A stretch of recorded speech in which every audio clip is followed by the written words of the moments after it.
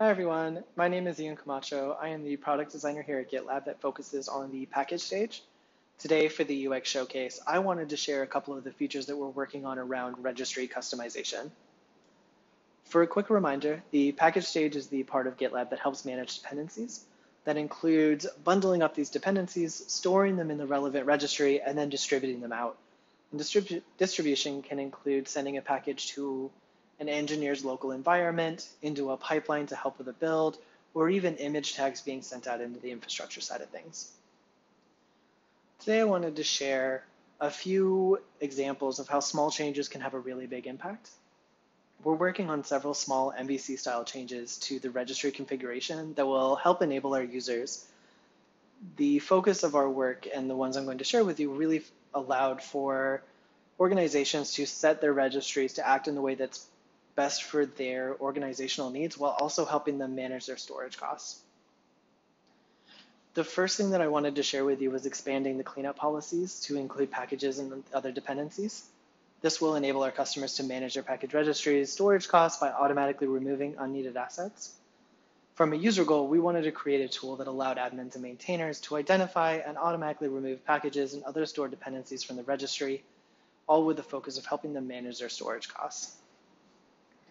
I've shared what we worked on before with the cleanup policy for image tags before here at the showcase, and I'm really excited because we can take all of the learnings that we got from doing that work, the research, the actual building of it, we've gone through two iterations, take all of that information and port it over to the different packages and other dependencies with a lot of confidence. The goal is to create an automatic tool that will regularly remove unwanted dependencies based on a variety of factors. This could include the package name and version, the amount of time that package has been in the registry, and historical data of how the package was built, like the branch commit, MR, etc. The next steps is going to include a technical evaluation of the cleanup policy for image tags and see what can be ported over to the package side and what needs to be customized. Once we have that information, we'll be able to see how much of the design needs to be adapted or changed. We're hoping as little as possible, and then we'll be able to move forward from there. One of the other things that we're working on right now, which kind of flows into the post MVC idea, is going to change the focus of the cleanup policy from being associated with the package's metadata to more of its usage data. When we talk to our users, one of the things that they really wanted to see in the next version was to determine if a package or dependency should be removed based on the amount of time it's been since it was last pulled. For example, they would like to be able to say, this package can be deleted because it wasn't built from the main branch and nobody has pulled it for the last 30 days. That usage data aspect ensures that they're not accidentally deleting assets that they need or are being used regularly. So it'll be really exciting and really make that kind of feature lovable for our users. The next feature I wanted to talk about included letting organizations determine how their registries will handle package duplicates. Um, the user goal is to create a really easy way for admins and maintainers to set a policy of how their registry should respond when a duplicate package is attempted to be published to the registry. For a quick review, a duplicate package is an asset that has the same scope, same name, and same version. We've talked to a large number of organizations and gotten some varied responses. And we've discovered that these variances come both from the package format itself, so if it's NPM or Maven, et cetera, or from the type of organization or DevOps setup that they have can alter how they feel about duplicate packages. As an MVC solution, we wanted to create a setting that would allow the organization to determine if the package registry at a project level would allow for duplicate packages or not allow. One thing we did add based on the research was also the ability if a if an organization is determined not to allow duplicate packages, to add exceptions. The story that we heard over and over again when we had these conversations was that we don't want to allow duplicate packages, except, for example, Maven, you build several snapshots that get added and it's used as part of testing. So we want to allow snapshots without having to create new versions of them, but not allow duplicates in any other form. So we added that regex field to make those exceptions. We're working on the designs right now in 13.5, and then uh, moving forward, we're going to start with the implementation.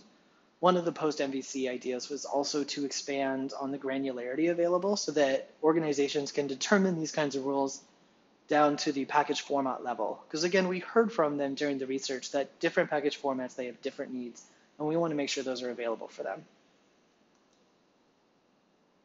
The next setting I wanted to talk about was the read-only mode. We want, from a business perspective, for customers to be able to create immutable registries that can be pulled from, that cannot be updated or added to. And from a user goal, we wanted a really easy way to turn that read-only mode on and off and make sure that it was really clear what they were doing. So from the UI, we added at the project level the ability to enable or disable the read-only mode and then kind of explain it inside of the UI. We heard that the requirements for read-only mode include that no new package should be allowed to be published to that registry, no current package can be updated inside of that registry, and that users and their subsequent customers can still pull packages.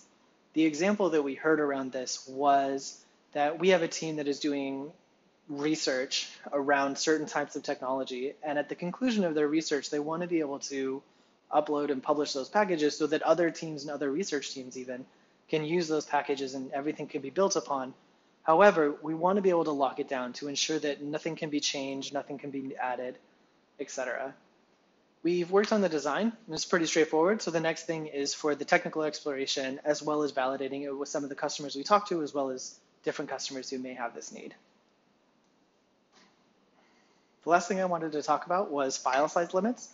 As storage and consumption has been a big priority for us here at GitLab and for our customers, file size limits really help organizations determine um, some restrictions on their file sizes in order to help them with their storage costs in general.